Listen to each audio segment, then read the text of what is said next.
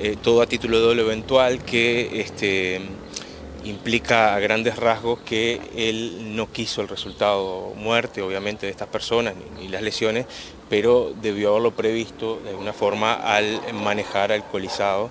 Según la pericia del Instituto Técnico Forense que se, que se citó en la audiencia, este, se constató un grado de alcohol en sangre de 1,66 gramos por litro de sangre.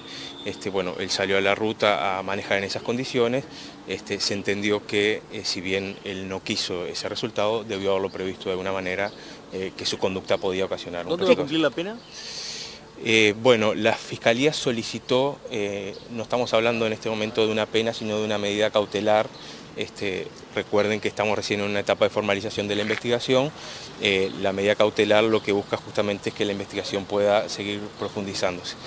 Eh, la Fiscalía solicitó la medida de prisión preventiva por 180 días mientras continúa la investigación. Eh, la defensa argumentó que se trataba de una medida muy gravosa, que no estaban los riesgos acreditados. La jueza entendió que esos riesgos estaban acreditados parcialmente y por eso dispuso una medida menos gravosa que es este, un arresto domiciliario eh, con la, única excepción de, para salir a trabajar.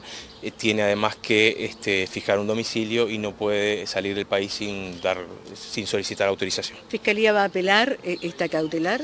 Bueno, en principio este, no, se consideró que, era una medida que aseguraba la, el equipo fiscal consideró que era una medida que aseguraba este, digamos, la, comparecencia de esta persona este, cuando sea requerida por, el sistema de justicia. O sea, el edil, el edil, puede salir a trabajar, puede cumplir también con su tarea de, legislador porque la, juez no impuso ninguna medida.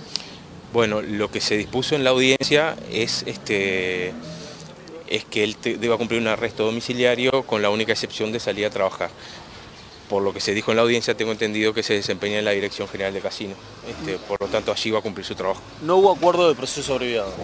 No, no, recién estamos en una instancia de formalización de la investigación. Como les dije, se formalizó por, por, esos delitos que les comenté anteriormente y ahora este, bueno, se va a profundizar la investigación para ver este, cómo termina, si eventualmente se va a un juicio oral. Eso va a depender de cómo, de cómo avance la investigación.